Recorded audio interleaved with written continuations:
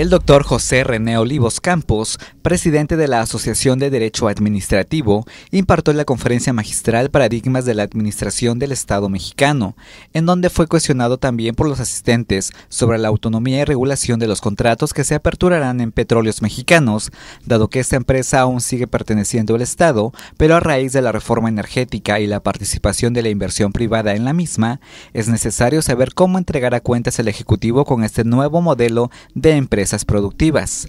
Ante ello, aseveró que a la fecha no se tiene un panorama claro sobre los órganos que deben dar transparencia a estos contratos. Los resultados aún no están a la vista y tampoco no hay un diagnóstico sobre el alcance de estos contratos. Hay que hacer una evaluación, no hay un diagnóstico.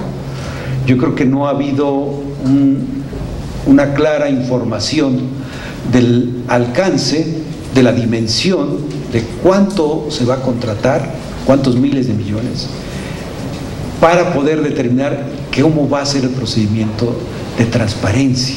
Por otra parte, señaló que es necesario ciudadanizar el poder autónomo de organismos públicos, en donde los nombramientos de quienes dirigen los organismos deben ser por sorteo, dando transparencia a quienes se registran como candidatos, que no dependa del nombramiento de uno de los poderes del Estado, finalizó. Entonces, lo que tenemos son nuevas funciones especializadas, es una especialización y esa especialización requiere también una fundamentación constitucional. Yo estoy de acuerdo que hay que hacer esa reforma. Es decir, porque incluso pensaríamos que estamos actuando inconstitucionalmente. Con imágenes de Juan Carlos Chiñas, informó para MVM Televisión Celestino Chacón.